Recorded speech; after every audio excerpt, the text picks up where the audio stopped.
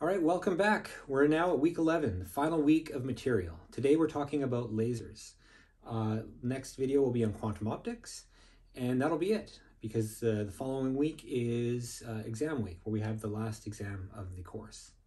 So we're really going to zero in on what a laser actually is. I'm holding one in my hand, they're everywhere, and they're kind of a fundamental part of, of optics nowadays. So we better at least make a stab at, uh, at understanding how they work. All right, and Starting with lasers, the name, it really says it all. Lasers mean light amplification by stimulated emission of radiation, okay?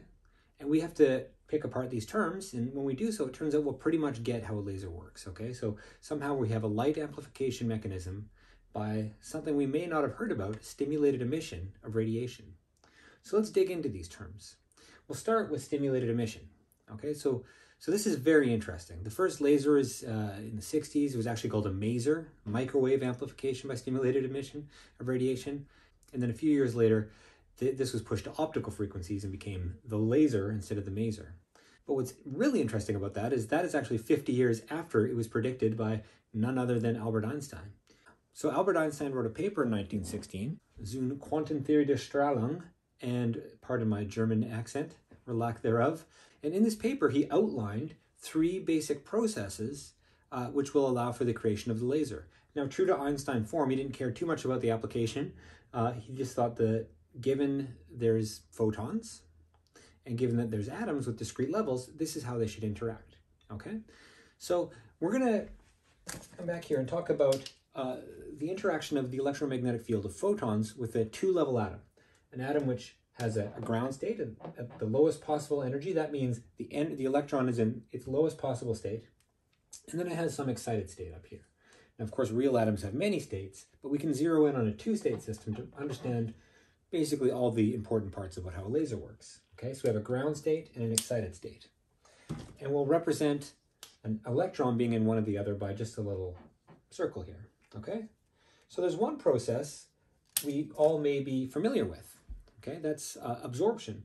We have a photon coming in, and a photon has an energy, which we now know, uh, given by h bar times its angular frequency. There is a difference in these energy levels. That's what these different energy levels means. It means that an electron being in one configuration versus another, well, there's an energy difference between those two uh, configurations. And if this energy level here, delta E, that's equal to h bar omega of the photon, well, we can have absorption, right? We can have absorption. And what happens is that our photon vanishes and our electron gets excited to uh, a higher orbital, right?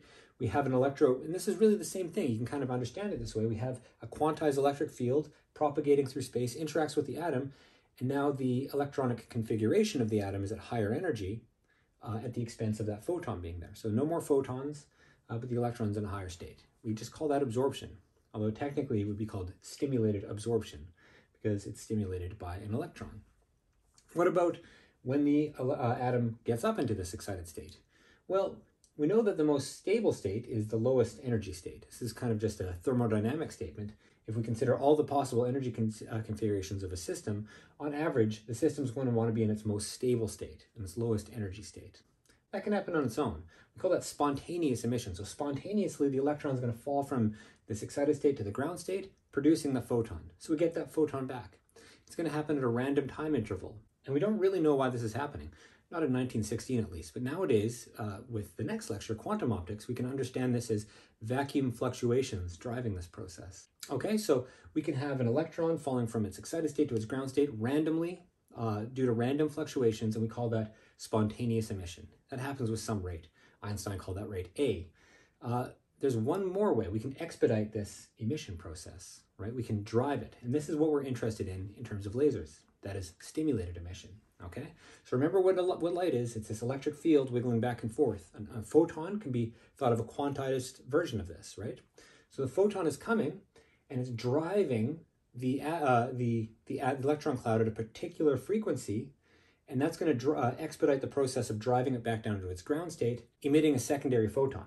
All right, as it does this, this is a key point. So we have one photon in, two photons out, but it also does so in phase, right? Since it's driven by the field of the photon, the extra photon that's produced is in phase. It's kind of locked in with that, uh, with that photon that stimulated it. And this is the process that we care about. You can see my animations are getting much more sophisticated from lecture one. Uh, this is the process that we care about for understanding, uh, understanding lasers. So stimulated emission, we have SIRS. We don't have lasers yet. What about light amplification? Okay, so we can understand this as follows. From before, each photon that was in its excited state can be driven to produce two photons and uh, an, an, atom in its ground state. We can kind of write this like um, excited plus a photon, we'll call that as a photon, uh, will go to the ground state plus two photons, if you want to write it that way, okay? So let's consider we have a system like this. We have a photon here, and we have a bunch of atoms that are all in their excited state. As it propagates through the system, we've that one photon becomes two. Then that two photon system becomes four. And that four photon system becomes eight. Along the way, we're de-exciting these, these, these atoms, right? So let's look at that again. As a photon propagates through the system, we actually have light amplification. In other words, we have gain, all right? Now, one thing to, to note here, I haven't drawn in this little cartoon, is that we can also have atoms in their ground state. What about if another photon, let's look at two processes here. Say we have an atom in its excited state and an atom in its ground state and another atom in its excited state.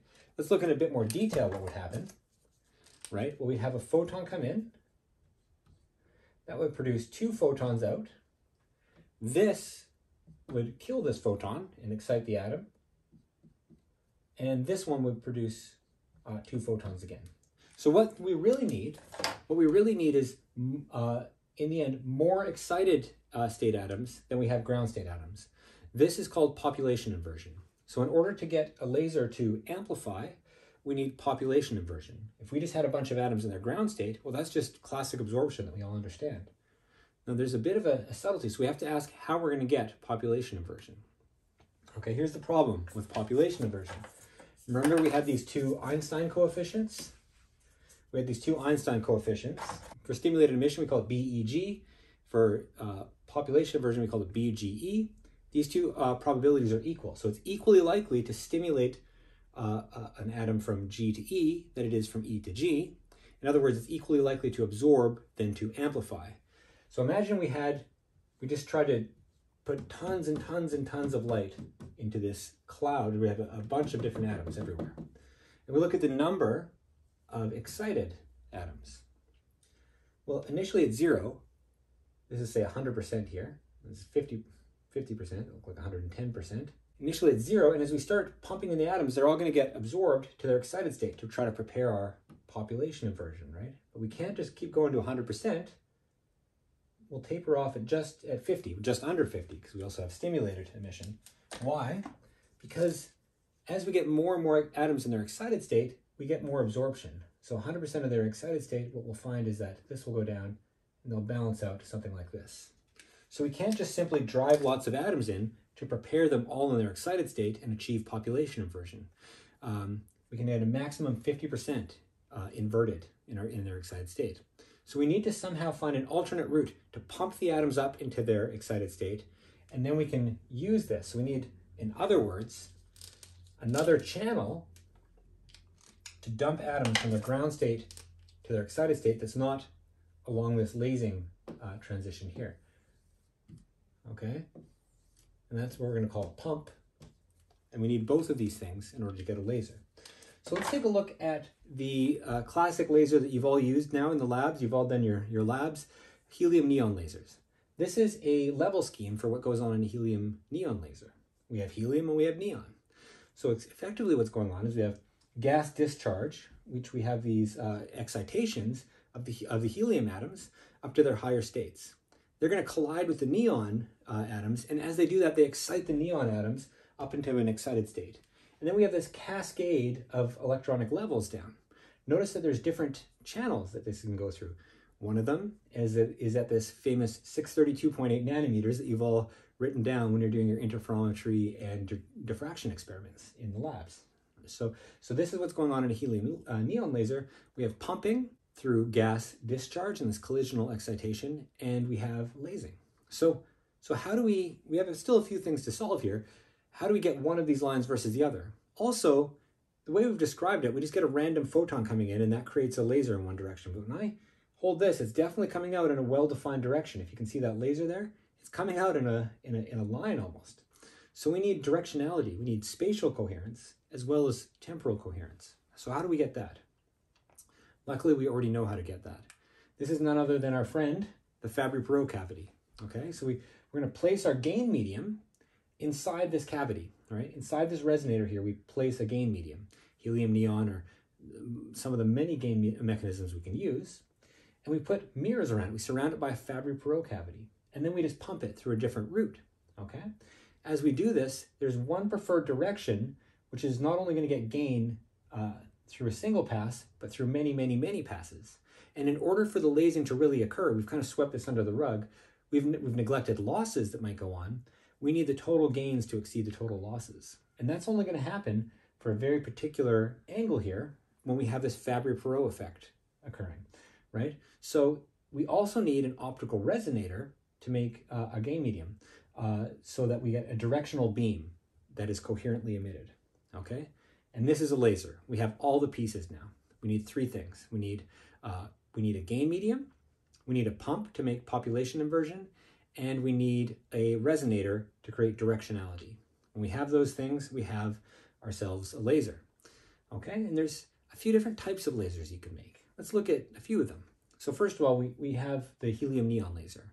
Okay, so in this, the gain medium is helium and neon, and we have a pump, which is a gas discharge mechanism, creating this collisional cascade to create the population and emission on the lasing transition. And if we look at these, it's surrounded by Fabry-Perot cavity. You can't really see it from this picture, but that's what's going on. We have a tube with uh, two parallel mirrors here, and that creates the laser system. There's tons of different lasers we can make though. For example, the one I hold in my hand is known as a diode laser. And a diode laser is made with a laser diode. A laser diode is like a diode, like an LED or another type of diode, um, but engineered to have gain, okay? So, so for a laser diode, uh, and the majority of laser pointers and, and a lot of lab lasers nowadays as well are laser diodes. And the gain medium for this type of laser is actually a PN junction. It's a semiconductor-based laser. Uh, to excite it to create the population inversion uh, is done by a bias voltage, right? After which we have this cascading effect. We've created, there's internal levels, and we've created this uh, population inversion, which can lase, okay? The resonator is actually made just by putting reflective coating on the two facets of this diode, and we have ourselves a coherent resonator, a coherent oscillator.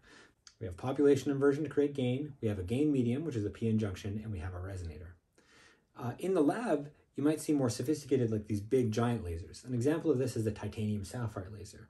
Here we use a solid state crystal, titanium sapphire, to create the gain uh, mechanism. And how do we make these things? Well, we pump them with another laser typically. Well, if we got a laser to start with, why do we need it to build another laser, right? Well, typically this is a lower quality beam at a at very high power, right?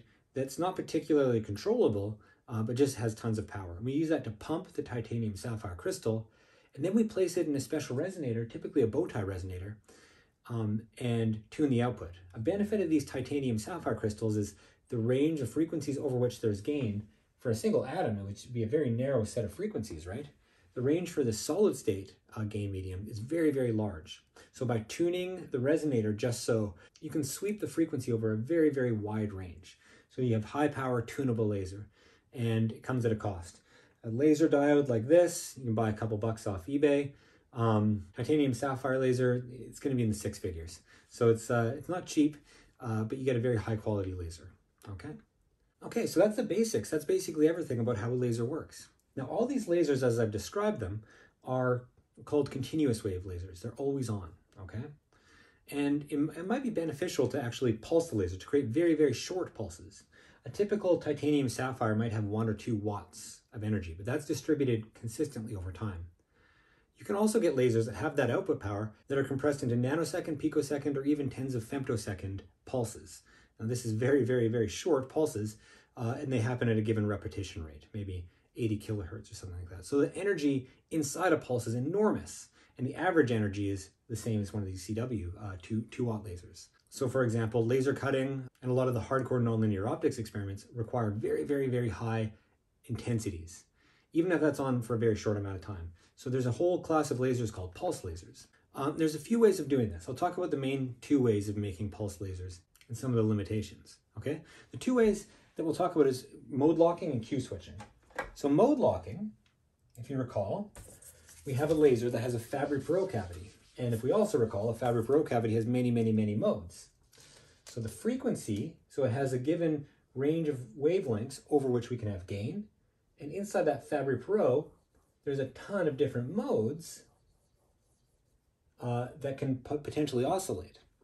Now, if all these modes are just independently doing their own thing and putting out laser light, that's not great. We just call that multi-mode laser. It's kind of incoherent. They're all kind of, it's a incoherent mixture of a bunch of individual lasers. And that also leads, it turns out, to a, a constant uh, uh, output intensity. So if, on the other hand, all of these are completely in phase with one another, all of these modes are locked together, it's mode locking, uh, we actually have a coherent wave whose frequency looks like a comb. Okay, like this, a frequency comb. And the Fourier transform of such a comb is a comb. And the spacing of the comb is 1 over the spacing and frequency. But what is this? This is just a train of very, very short pulses. So mode locking works by uh, uh, creating a situation, engineering the phase relation between these modes such they're all, they all have a fixed phase relation between them. And since they're all coherent with one another, this leads to a train of optical pulses in time. And that's mode locking. You can create very short pulses this way. So here's an animation, by the way, of the first 20 modes. I got this directly off Wikipedia, forgot to write it down, um, of how a mode lock laser works. Notice that we have all these individual resonator modes. They're all oscillating in phase. And this is just Fourier analysis. This tells us that this creates um, a stream of pulses. Now, we're taking the magnitude squared for intensity, so they'd all be positive, and we'd have typically many, many more modes uh, involved in this process. we'd have a very well-defined sharp peak of a bunch of tiny, uh, very, very short pulses. Okay, so the other technique is called Q switching or quality switching. So Q switching works uh, as follows. So remember we had this, this condition that we had to have more gain than loss, right?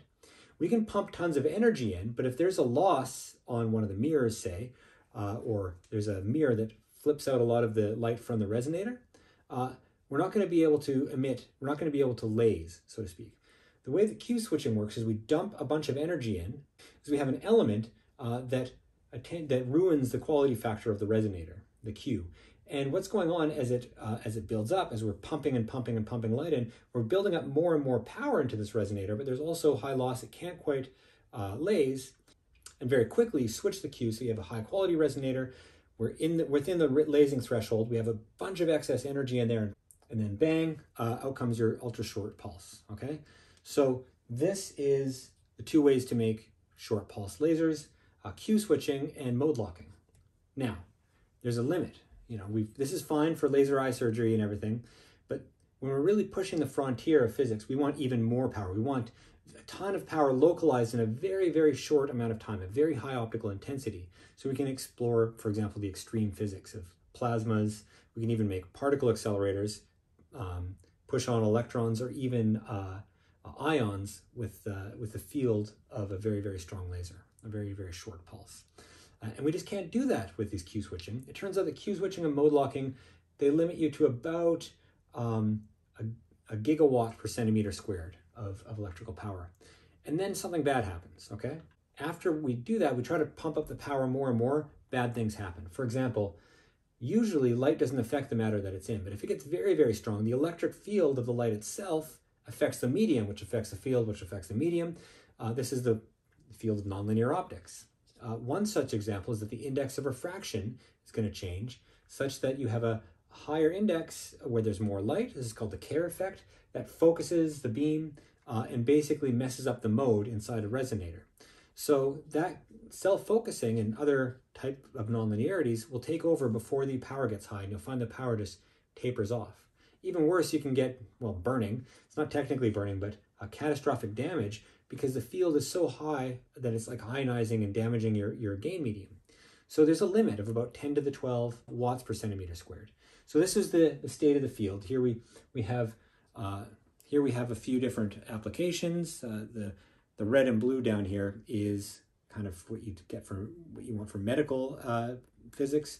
Uh, plasma physics, you need a bit higher. Uh, relativistic electrons and even ions, you need super high.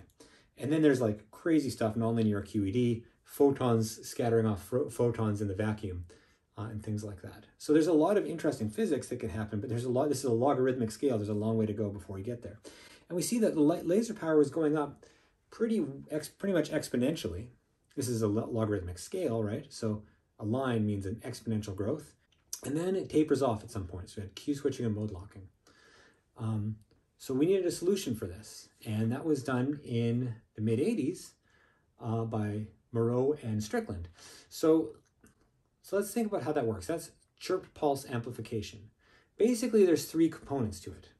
We need to get ahead of the, we need to get around this damage threshold where the intensity is locally too high. So the trick is we have, we, we, we have our pulse that's as short as we can get it with a relatively high amplitude. And then we're going to stretch it out over time, all right? We're going to stretch it out. So the power is the same, the energy is the same in that pulse, but it's stretched out in time, uh, so the intensity goes down. And then we're going to apply more gain, gain it up even more, and then outside of the gain medium, compress it. And that's chirped pulse amplification. So let's go through those three steps. Step one, pulse stretcher. And remember that if we have a very narrow range of, freak, of, of times, we have a short pulse to begin with, delta t. That corresponds to a very wide range of frequencies, roughly 1 over delta t. So that short pulse actually has a ton of frequencies in it. Let's put it in a dispersive medium, like a, uh, a diffraction grating, or anything that would separate the different frequencies into different angles and use that to make the longer frequencies travel a different uh, distance than the shorter frequencies, uh, or vice versa. And therefore, that's going to stretch out the pulse. Okay, so so the higher we have a time-dependent frequency, right? Because it's stretched out in time, the higher frequencies and the lower fre- uh, frequencies will arrive at different times. And this is called a frequency chirp. We heard about the chirp a little bit in uh, uh, the LIGO talk, but it's basically, it's called a chirp because if you think about what that sounds like, a time-dependent frequency, it's that's a chirp, or a reverse chirp. I'm sorry for my poor whistling skills. But that's uh, that's how we create a, a time uh, chirp. Well, then we just apply standard amplification. It goes through an amplifier, and we go to the limit of what that amplifier can do. Okay, so we've chirped it, we amplify it, and then we put it in a compressor, which is just that uh, that stretcher uh, that works in reverse. So if the higher frequencies got delayed the most, the higher frequencies would get delayed the least. And everything's aligned just perfectly, we can completely invert that process. And then it's converted, right? So the, the key here is that we're not in the gain medium anymore, so now we can have those very high amplifications without burning anything. And that is chirped pulse amplification. We chirp it, create a frequency chirp, amplify it more, compress it, and we have huge uh, gain in power. So let's look at this plot here. So here we have that plot that's continued now. You can see the actual point, the inflection point where chirped uh, pulse amplification appeared on the scene and how the laser powers have been going up. And now we're on the order of incredibly high uh, powered pulses. So we have this aptly named Hercules laser here that can get into the re regime of actually accelerating ions, not just electrons, ions to relativistic speeds. We have a little way to go, a long way to go, a little way logarithmically to go before we get to nonlinear QED. Uh, but you can see, and it's, you can see it might be tapering off already. But this is a huge technological leap, as you can see just from the, from the history of laser power. And this is why it was deserving of the Nobel Prize in Physics. Okay, so that's it for lasers. Let's summarize. So a laser means light amplification by stimulated emission of radiation, and stimulated emission provides the gain, right? And that provides the light amplification. It requires that we have population inversion to actually work, but that's basically, it's all in the, the acronym laser uh, as to how it works. So there's three main components. We need, uh, we need a gain medium, we need a pump to create population inversion, and typically we need a resonator to make a uh, well-defined, coherent uh, direction as well as frequency. Finally, we talked about pulsed lasers, and we concentrated on, on two methods of doing it. We talked about the technique of mode locking and Q switching. And that gets us to about a gigawatt per centimeter squared of, uh, of intensity. If we need to go higher, we need a trick, and that was chirp pulse amplification, where we stretch out the pulse, amplify it even more, and compress it again to avoid burning the system or these crazy nonlinear effects which limit the gain. And that's it for lasers. So we'll see you in the final video on quantum optics next time.